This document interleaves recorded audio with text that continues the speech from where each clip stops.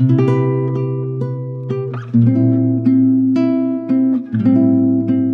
This video, I'm going to talk about ways to make your plants look just a little bit nicer. I am in my living room right now. I'm taking a little break from the apartment makeover series just because I wanted to give you guys some plant content. The next apartment makeover episode is going to be about my plant office. I'm excited to show you guys that. I just need to edit it. I'm going to share some small things that I do to my plants that don't cost any money at all or cost very little that I think really improve the look of my plants and make their presentation look much nicer. A common thing I see people say is to always rotate your plants like a quarter inch every week. That way the leaves don't end up just facing one direction. And while I think this is good advice sometimes, I don't think that you always need to rotate your plants. Rotating your plant will give it a completely different look than not rotating it. And I think sometimes just leaving a plant where it is and allowing the leaves to face towards the sun naturally gives a much more grown in and natural placed look to the plant like it actually belongs in that space rather than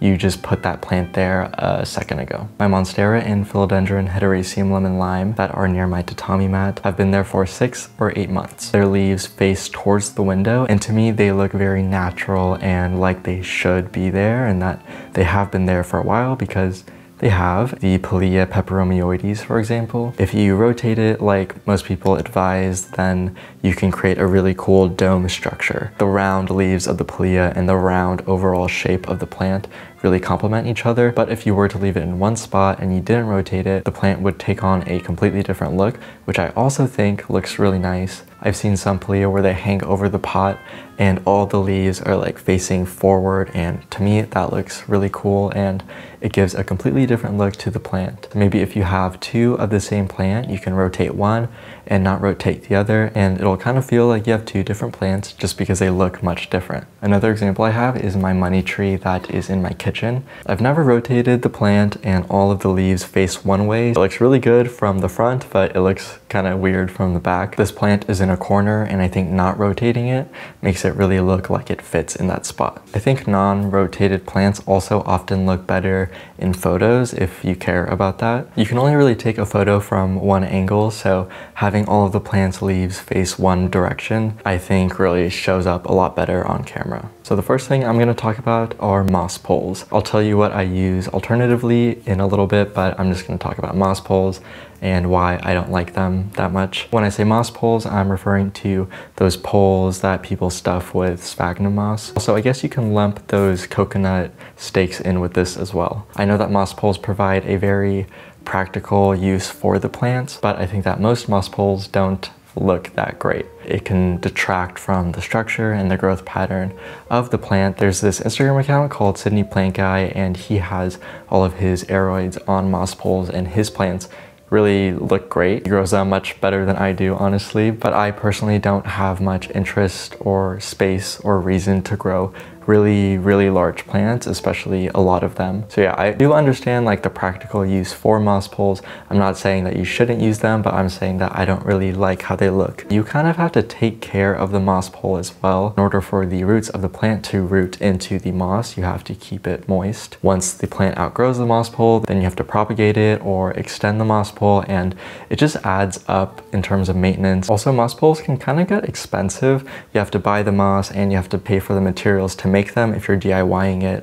And if you purchase them, they're probably gonna be like $20 or more. So it's just an extra expense that I don't think is super necessary. Instead of using moss poles, I have three alternatives that I'm currently using. I have some of my aroids staked on large wood sticks. They don't stick out too much like moss poles do. Typically they're skinnier or as skinny as the actual stem itself. I have my Monstera on the left of me that is growing on a wood stake. The leaves sized up significantly without the use of a moss pole. A big reason why people use moss poles is because they want the plant to actually root into the pole. That way it can get bigger leaves and mature quicker. But in my experience, it's not really necessary to use moss poles in order to mature your plant's leaves. For example, I have my Philodendron glorious and a few other plants that have matured and increased leaf size without the use of a moss pole. It should be pretty easy to find these stakes. I get mine at my local nursery called Yamaguchi Nursery And I see them often at nurseries that have outdoor plants. If they have taller trees, then these stakes are often used to support the tree. And I'm able to purchase five foot ones or 10 foot ones that are only like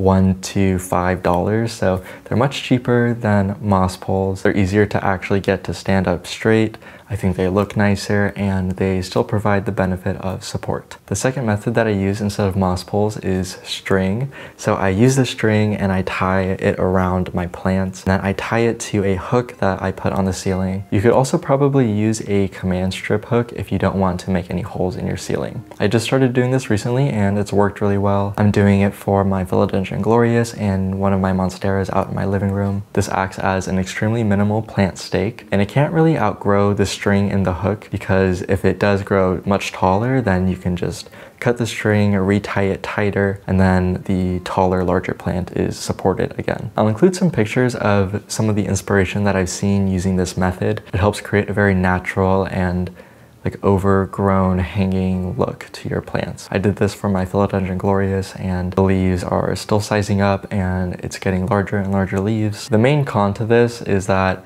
you can't really move your plant from the spot that it's in once you have it tied up. You're gonna have to water it in place and you can't really like flush out the soil. But I would only recommend doing this string hook method for larger plants anyways. Not being able to move them to the sink or something isn't really so much of a big deal for me. This is a really nice way to stake your plants because you don't have to worry about extending it and it's very cheap. I just use cotton string and a hook from Amazon. Now my next alternative to using moss poles is cork bark. This isn't really the best example because this isn't like the nicest looking plant right now, but this is my Monstera Burle Marx Flame. Pretty juvenile so it doesn't have the characteristics of the mature plant, but I think using cork bark gives a very natural and structural look to the plant. I would only use this for plants that don't grow too tall.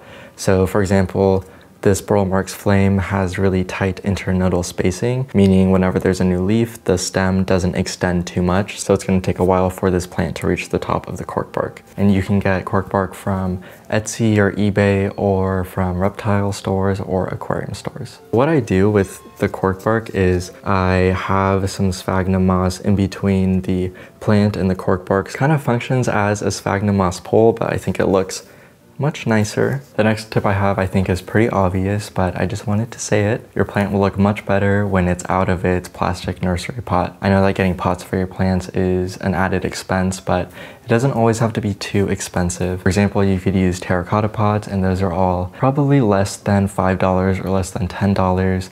And then you could also shop at Ikea. Ikea has a really good selection of pots at good prices. And then you could also thrift pots.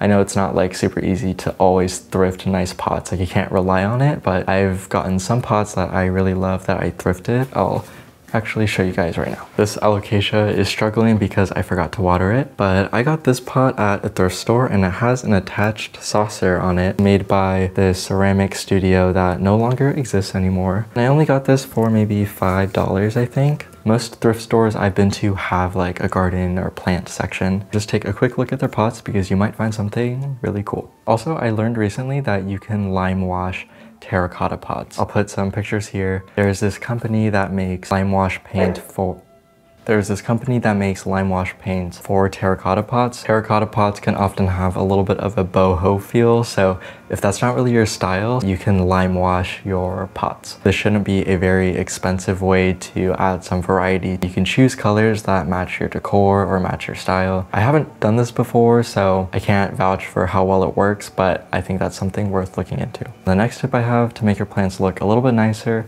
is to remove the lower leaves of your plant. Something that I feel like is really popular right now and has been popular for a while is to have a tree in your home or kind of have like a structural interesting shaped plant in your home.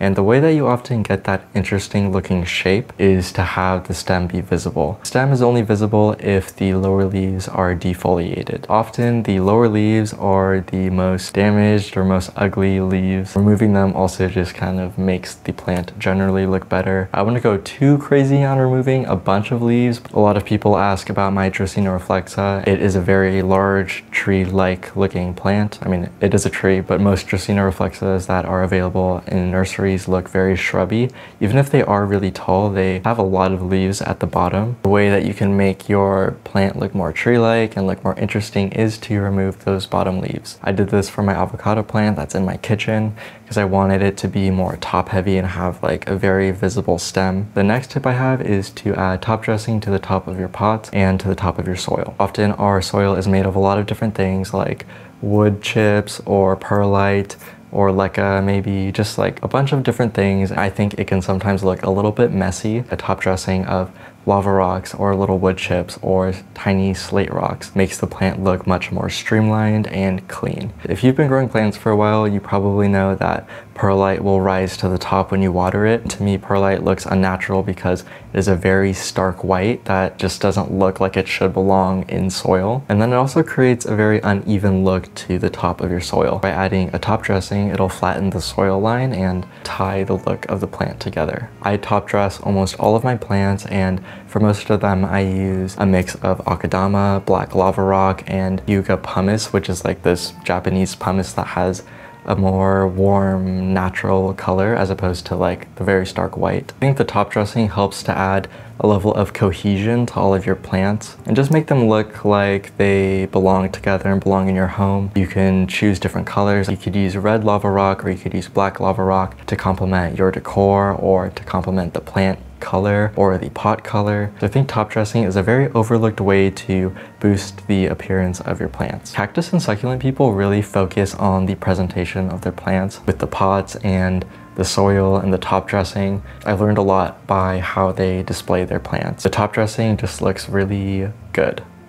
It just looks really good. That's, I don't know how else to say it. And then the last tip that I have for you guys is to change the way that your plant is growing. What I mean by this is changing the direction or moving the stem so it has a bend to it so the plant looks more interesting. I saw this photo recently of a Ficus umbellata that has this super cool like windy stem. I had no interest in the plant before I saw it manipulated in this way. I found this small channel by this um, very sweet Japanese man. He has videos on how to bend your ficus in this way. He uses ficus umbellata, ficus lyrata, and also ficus elastica. I've also seen him do this with Dracaena reflexa and I think Dracaena marginata. It's just a really cool way to make a regular plant look much more unique and more interesting and make that plant your own rather than just being another ficus. It is your ficus because there's only one that is shaped like this in the entire world and I think that's pretty cool. I'm trying this method with one of my Ficus umbellata out on my balcony. I'll update you guys with how it's going. I actually tried this on my variegated money tree and I ended up snapping and breaking the entire plant, but it's growing back now. Proceed with caution. Definitely try this method on plants you don't care about that much first.